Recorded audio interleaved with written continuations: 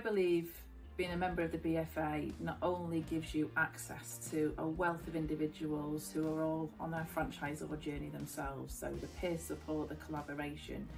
in, in itself is, is, is worth joining the BFA. But outside of that, you've got training programs, you've got opportunities to go to conferences and learn at workshops, you've got opportunities to really understand uh, trends and, and, and data within the franchise arena and also be part of an organisation that really holds up their standards and their code of ethics to make sure that you as a franchisor